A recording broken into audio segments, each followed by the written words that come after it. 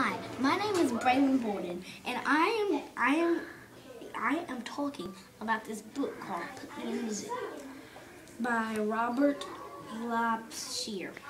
Whatever his last name is. And it's about a big thing. No one knows what he is. And he wants to be in the zoo. Hold it straight, please. So they he asked him and then they kick him out. So he tries so he tries to get himself into the zoo by get, showing all of his and my favorite picture is this one.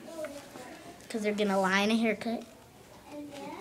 And, and a quote from this is,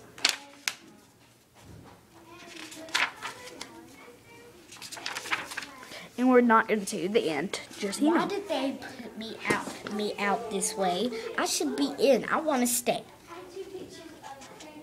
Dude, did they get everything? Is everything in there? How long is it?